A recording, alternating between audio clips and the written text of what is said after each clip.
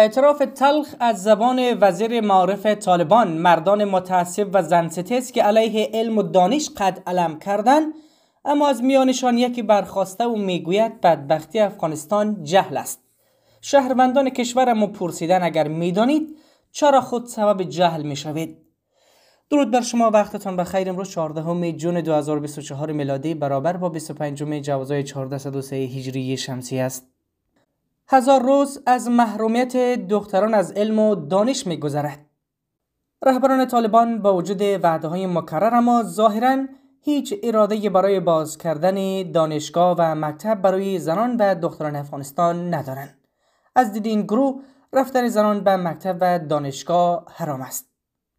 مسئله که می‌تواند جهل را در افغانستان بیشتر از پیش گسترش دهند و بی سبب می شود که افراطیت افغانستان را به بحران دیگری فرو ببرد. اما وزیر معارف همین گروه طالبان در نشست وزیران معارف در کازان روسیه گفته است که بدبختی افغانستان از جهل ناشی از جنگ چهل ساله در این کشور منشأ می‌گیرد. این مقام طالبان می‌گوید که درگیری های چهل ساله در افغانستان خسارات زیادی در بخش معارف افغانستان گذاشته و بسیاری از مکاتب و مراکز آموزشی نیاز به بازسازی دارد. با این حال از یک این مقام طالبان اعتراف می کند که مشکل افغانستان ناشی از جهل است اما سوی دیگر با لجاجت هرگز نمی‌خواهد که موافقت کند زنان و دختران افغانستان به مکتب و دانشگاه برود. او حتی در همین سخنرانیش با وجود اعتراف تلخش به اینکه مشکل افغانستان جهل است هرگز اشاره به بازگشای مکاتب دخترانه در افغانستان نکرد. شهروندان کشور پرسیدند که اگر شما این مسئله را می‌دانید که مشکل اصلی افغانستان جهل است چرا با جهل مبارزه نمی‌کنید که خود سبب جهل می‌شوید شهروندان کشور خطاب به طالبان میگن اگر شما جاهل نبودین و اگر مادران شما باسواد بودن اکنون شما آدمای افراطی و عقده‌ای نبودید.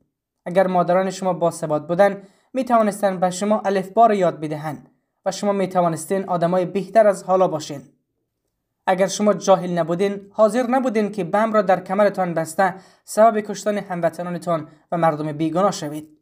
شهروندان کشور تاکید می‌کنند طالبان باید دروازه های مکاتب و دانشگاه ها را برای زنان باز کنند و با آنان اجازه دهند که نقششان را در جامعه بازی کرده و باعث شگافایی و پیشرفته افغانستان شود. قابل یادآوری است که در نشست کازان روسیه وزیر معارف طالبان بار دیگر دست گدایی به سمت جهان دراز کرده و از کشورهای جهان خواسته است که در چاپ کتاب و پرداخت معاش معلمان با طالبان همکاری کنند.